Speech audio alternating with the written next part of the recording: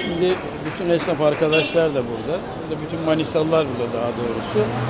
İzmir 2 numaralı Kültür Varlıklarını Koruma Bölge Kurulu tarafından taşınmaz kültür varlığı olarak tescil edilen beyaz fil, İstanbul'da faaliyet gösteren Teksan Brode Tekstil Sanayi ve Ticaret Anonim Şirketi'ne satıldı.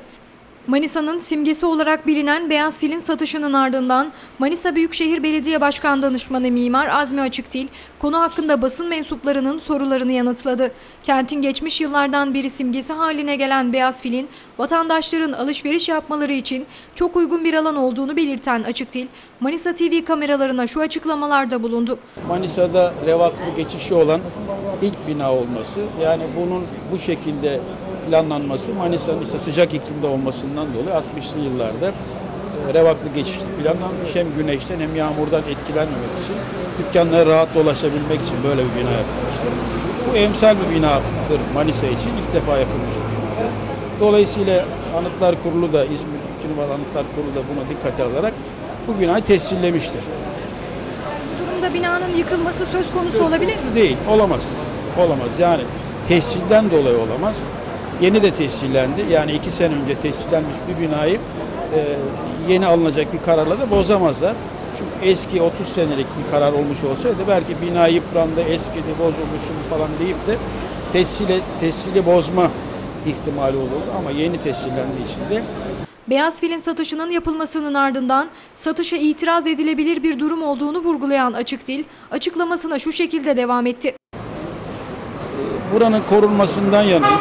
Bu Manisa'nın çarşısına, esnafına katkı sağlayan bir bina.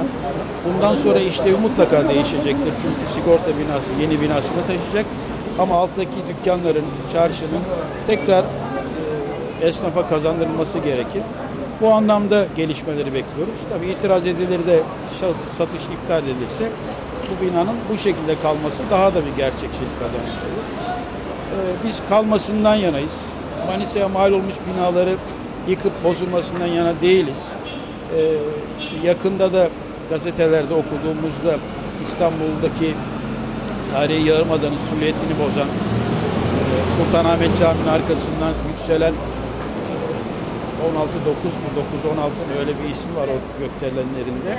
Onların dahi yıkılması söz konusu süliyeti bozduğu için.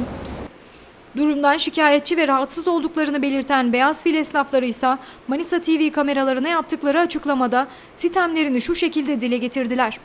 Siz de burada esnaflık yapıyorsunuz, ekmeğinizi buradan çıkarıyorsunuz ve beyaz fil binası satıldı dün akşam. Siz neler söylemek istersiniz? Yani çok kısa bir zaman önce devreye girdi bu iş biliyorsunuz. Ramazan bayramının Ramazan bayramı içerisinde e, ihalenin olacağı bilgisi alınmıştı.